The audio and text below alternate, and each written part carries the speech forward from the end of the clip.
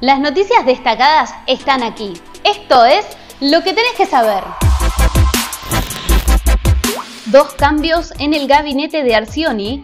El ministro de Turismo, Néstor García, anunció que dejará el cargo y en su lugar asumirá el gerente del ente mixto Rawson de Turismo, Leonardo Gaffet. El exintendente Gustavo Hermida dejará su lugar en el Ministerio de Familia a Mirta Simone, una técnica de larga militancia en ATE. Volvieron a allanar el Instituto Penitenciario Provincial por extorsiones sexuales los investigadores hallaron un teléfono celular y varias anotaciones vinculadas a casos de sextorsión denunciados en la comarca andina. Lanzan créditos para viviendas. El Instituto Provincial de la Vivienda presentará una línea de créditos personales para construir la casa propia. Hay que tener un terreno con servicios. Más información en www.diariojornada.com.ar y también en nuestras redes sociales.